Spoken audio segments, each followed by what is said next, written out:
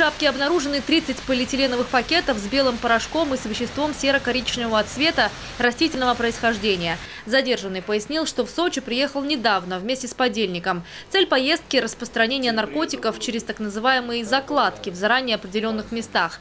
За это каждому обещали платить 25 тысяч рублей в неделю. Мужчина указал, где он уже успел оставить закладки, там их и обнаружили полицейские. Экспертиза подтвердила, в закладках находился наркотик двух видов. Солей спайса изъято более 150 граммов и более 30 граммов спайса. Задержанный второй подозреваемый в распространении наркотиков. Возбуждено уголовное дело. Мужчинам грозит до 10 лет лишения свободы.